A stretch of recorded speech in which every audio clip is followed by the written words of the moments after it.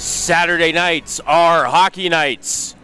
Good evening, ladies and gentlemen, from the Covelli Center in downtown Youngstown, Ohio. The United States Hockey League is proud to present regular season game number 44 for your Youngstown Phantoms. Tonight, they take on the Cedar Rapids Rough Riders. Youngstown can't enter, and it'll be Wisdom chipping it back to Shellberg. D to D over to Montgomery, broken up by Rozzi. Rozzi walks the line to Perkins in front. Score!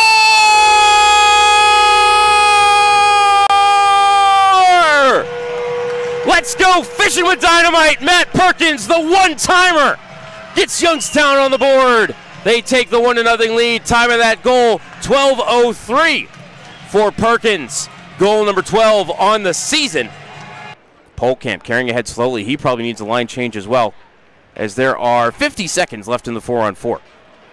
Rakovian pass Serbone, got it over to Kraft. Kraft shot right to the belly of Fowler. It trickled in. Jacob Kraft, his 13th goal of the season. Getting it out of the scrum where the Rough Riders up to the point to Shellberg. D to D over to Grable. He'll float it back behind the cage to Basson. Far side, backhander on the cage. Fowler had it squeezed through the five hole and in.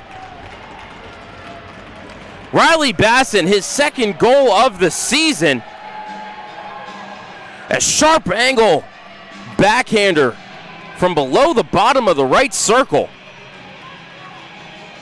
Sneaked it through the five hole of Fowler, and Cedar Rapids has the 2 to 1 lead.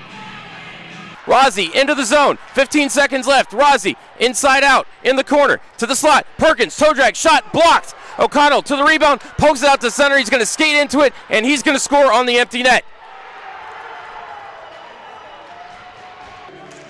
Svoboda wins the draw over to the wall, and that will do it.